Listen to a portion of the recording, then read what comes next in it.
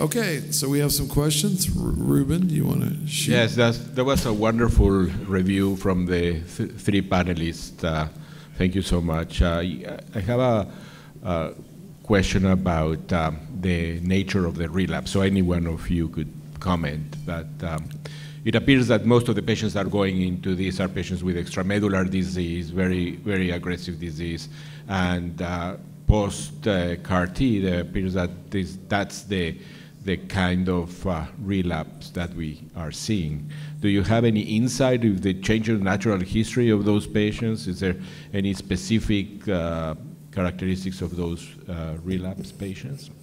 And the second question is in the, in the preparation for the patients who will go into CAR T.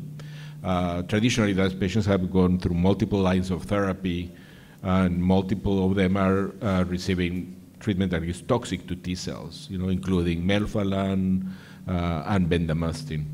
Um, some uh, patients that you have treated that, I, that, that I've sent you uh, have received those agents with no problems. However, there, there is this uh, rumor that uh, uh, some groups are going to start curtailing on the prior therapies, particularly in those T cell toxic therapies.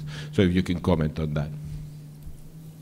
Uh, in terms of the first question, relapses, I think there's a spectrum of ways in which patients relapse. It is true that we're seeing more extramedullary relapses, but there's a lot more patients with extramedullary disease that go into the study as well. So uh, I think in other settings as well, where the advanced myeloma does present as extramedullary disease, so if the, the CAR T cells are changing the natural history or this is just a reflection of eight or 10 prior lines of treatment for some of these patients is going to be harder. But it is true that some of the relapses have been challenging. But there are other patients who've relapsed more conventionally who've been able to go on to other trial, trials as well. So it's not all uh, rapid uh, relapses with extra, at least in our experience. To your second question about prior therapies, uh, we, at least in the studies that we've done um, at MSK, have not had issues with manufacturing T cells based on prior therapies. Uh, but that said, the quality of those T cells and what the, what the impact of the response might be still to be determined. Almost all of the patients we've treated so far have received melphalan previously and other drugs. And nothing stands out immediately in this very advanced relapsed and refractory patient population that a particular drug or, or in, in their prior history would impact the outcomes or expansion of the T cells, at least in our experience.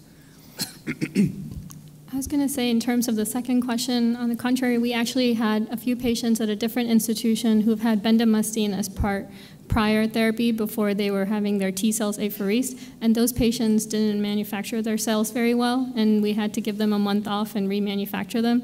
I think the mechanism of that is still unknown, but you can see that now that CAR T is moving up earlier and earlier, most of these patients now want to, you know, the plan is to do transplant and then followed by CAR T. The issue is if you don't collect the cells prior to their, when you're doing the apheresis for the stem cell transplant, the issue is going to be, are you going to be able to manufacture these cells properly post-melphalan?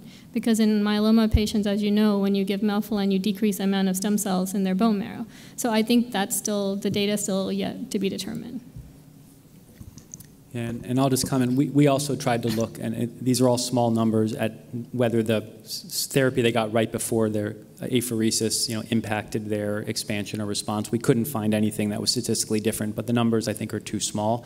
I do have some concern about alkylating agents you know, right before manufacturing and whether that's going to be something we should avoid, but I think we need to analyze more data. Do you have any other caveats for us in terms of what we should avoid? Community doctors referring you patients before you're going to be doing this? Is there things they should know about? So, because these are available only in clinical trials, the eligibility is quite stringent uh, and very different for different studies. It's helpful to be involved early on in terms of um, uh, therapies that patients get while waiting for CAR T cells, uh, transfusion requirements, other details, uh, timing of uh, the kinds of treatments these patients get. Uh, every protocol is slightly different, but all of them require measurable disease, all of them require refractory disease, all of them require adequate counts and organ function. Uh, and the other challenge is the way these trials are structured and manufacturing processes. Slots are not available at every at any given point of time. So when a patient is eligible, there may not be a slot. When there's a slot, the patient's no longer eligible. So it's helpful to be involved early on with referring doctors in terms of different steps in their management so we can hopefully uh, maximize the potential for uh, trial eligibility and enrollment. On the back end, I noticed that you guys didn't have any comments, but do you have any thoughts on what you may do on the back end to help allow these T cells to remain or at least work better? Maintenance type regimens, consolidation, thoughts? Because I have a few of my own, but go ahead.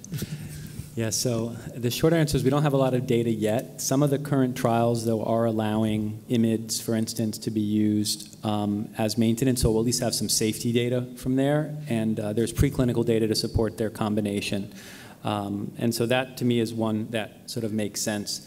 Um, I, I will say we have a very small experience trying to I guess, reactivate the cars with a PD-1 inhibitor-based regimen post, uh, post-progression. This was sort of done on an ad hoc basis, and we looked back. And we saw one patient who re-expanded their cars, but it was very transient, and the rest really didn't respond. So to me, waiting until they progress and their cars are sort of minimally uh, uh, present, it may not be the best time for that type of combo, and there are studies that are looking at using it earlier. But that's the only data that I'm aware of. Any other questions? Oh, yes, there's one in the back of the room. Yes. Thank you very much. Uh, great presentations as a group. Uh, one of the panelists mentioned uh, one of the inclusion criteria, one of the new trials, I think at Penn, uh, it's a plasma cell leukemia. Do you guys have any experience or know about any patients and results uh, with plasma cell leukemia treated with CAR T cells? Yeah, so I think in our, in our relapse refractory studies, and even in that upfront study, it, it's more a history of plasma cell leukemia, but we really don't want them having circulating plasma cells at the time of apheresis. So they have to have had at least in some response and without significant circulating plasma cells. Um, but we have had patients with history of plasma cell leukemia who have then, you know, gotten a response. They've gone into CAR T cells and have responded. Um, it has not been uh, fairly. It has not been as durable in terms of those responses, but it's really anecdotal right now.